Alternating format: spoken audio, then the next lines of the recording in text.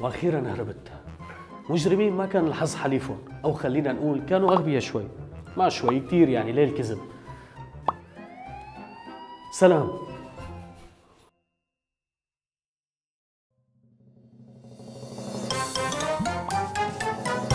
بإحدى ليالي فبراير الباردة من عام 2013 كانت أول سرقة لدارين كينتون. دارين حاول يقتحم أحد البيوت. كسر القفل وانجرحت إيده.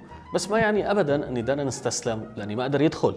بالعكس دارين راح على البيت الثاني وحاول يقتحمه. لكن لسوء حظه. كان هيدا البيت بالتحديد وبالذات مليان رجال شرطة لأني مسروق قبل بنص ساعة ولما دارين لقى حاله بين رجال شرطة بمكان غريب حاول يهرب وألقت الشرطة القبض عليه بكل سهولة وانحكم سنتين سجن.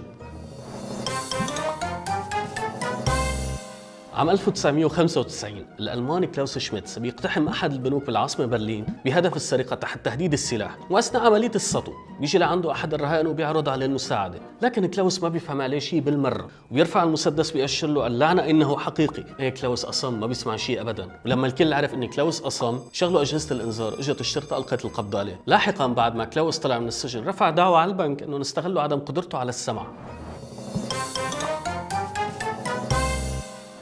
سرقت اليوم من ولاية شيكاغو الأمريكية. لسارق اسمه روبن زراتاي روبن عمل شيء ما ممكن يتخيل العقل بعام 2008 دخل على متجر ليسرق الخزينة لكن الموظفين خبروه أن المفتاح ما هو معنا وهو مع صاحب محل. لتكون ردة فعل روبن أكثر ردة فعل صادمة. عطى رقمه للموظفين وقال لهم بس يجي صاحب المحل تواصلوا معي. لكفي عملية السرقة. لكن الموظفين كانوا أذكى منه واتصلوا بالشرطة بدل ما يحفظوا رقمه.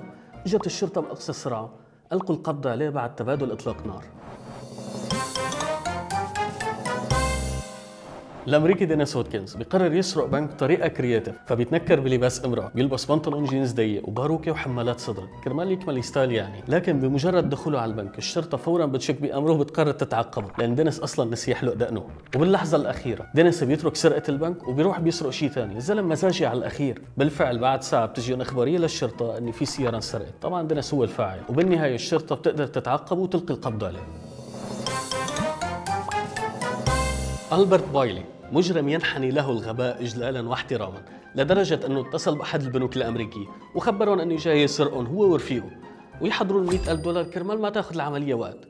بالفعل ألبرت ما كذب خبر بعت رفيقه معه ورقة مكتوب فيها نحن اتصلنا فيكم من شوي كرمال تعطونا المصاري وما يصير خربطة. لكن بهالأثناء كانت الشرطة ناطرتهم أحر من الجمر وألقت القبض عليهم بكل سهولة. زكاري تانتوني لص فضحته شهادة ميلاده. سرق محفظة امرأة كانت ماشية بالطريق. فيها 40 دولار ورأس بوتيه لكن لسوء حظه. وقع محفظته بدل المحفظة اللي سرقها. وفيها شهادة ميلاده ورسالة من أمه. ولما الشرطة واجهته بالدليل القاطع أن شهادة ميلادك هي أنكر وقال لهم لا ما ما شهادة ميلادي ما بعرف لمين هي لكن الامرأة تعرفت عليه وقالت له أن هيدا هو اللص اللي سرقها. وبالنهاية فشل مخطط زكاري وألقت الشرطة القبض عليه. سرقة اليوم سبب فشل حمار إيه إيه حمار لا تستغربوا. عصابة بكولومبيا. سرقت متجر بقالة بس ما كان عندهم سيارة لينقل المسروقات فبيسرقوا حمار لأن ما عندهم ميزانية بالأساس. ولما حطوا البضاعة على حمار وبدهم يجروا الحمار تنح وبلش ينهى وللصدفة البحتة بتكون في دورية شرطة مرة. بيشوفوا الحمار عم ينهى ولما شافت العصابة دورية الشرطة تركوا الحمار والبضاعة اللي عليه وهربوا. الجماعة ما عندهم وفاء أبدا.